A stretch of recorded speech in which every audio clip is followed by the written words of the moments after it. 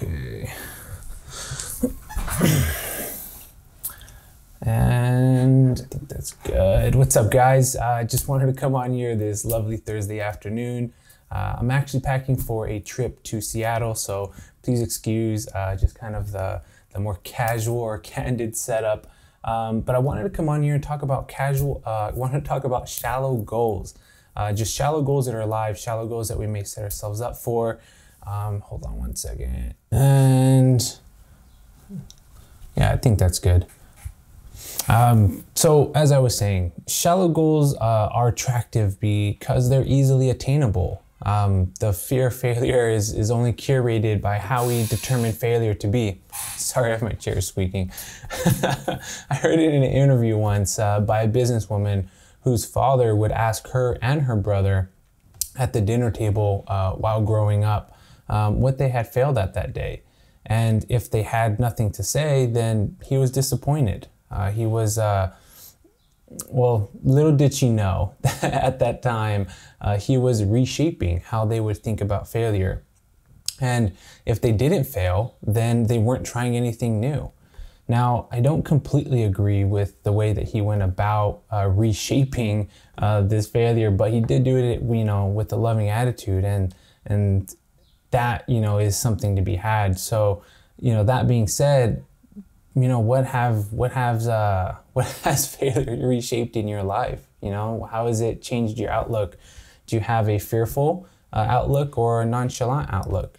Uh, the temptation of shallow goals are real. And when you know that you're capable of more but you fear you know the struggle you have the fear of failure or the fear of missing out then it's it is real and we typically are have already been trained to be able to achieve what problems we're going to go through to attain maturity in what God has planned for us.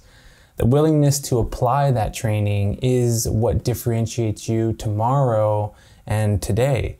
Like any business uh, or plan, you know, business plan, game plan, um, you have levels of achievements that you're going to be biting off and into smaller pieces rather trying to just flip a switch and, and make it, you know, like it's going to be reality tomorrow reassurance.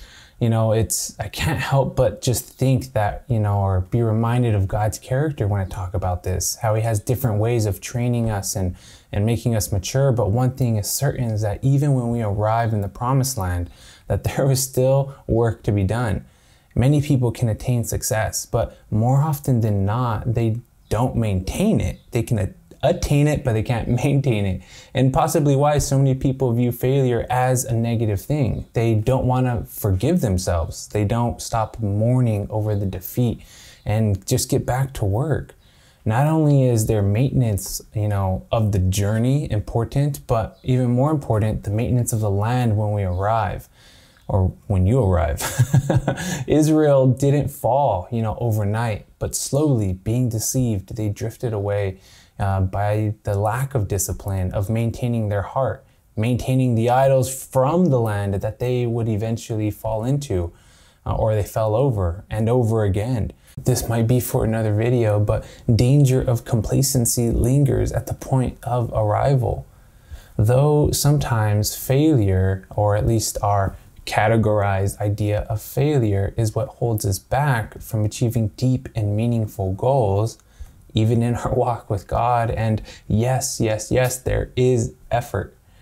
Can we learn to take a step back, looking at the big picture and break a goal into pieces, looking at the real obstacles? Is it our skill or is it just self getting in the way?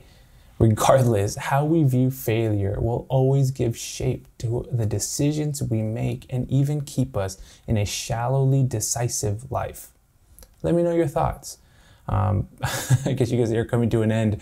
But um, you know, does this make sense? You know, um, is there something uh, holding you back? You know, put it in the comments below. I know that could be like some uh, some um, some deep stuff, and you don't have to share that. But just you know, I hope you did grab value from this. This was a kind of a quick video before we uh, we take off to um, Seattle in the morning. But um, yeah, let me know your thoughts. You know, I hope uh, we can just kind of talk about this as a short video and and uh, we can just bounce ideas back and forth. Um, shallow goals has just really been something that's been on my heart And uh, yeah, again, I just hope that, that you guys really grab some value from this.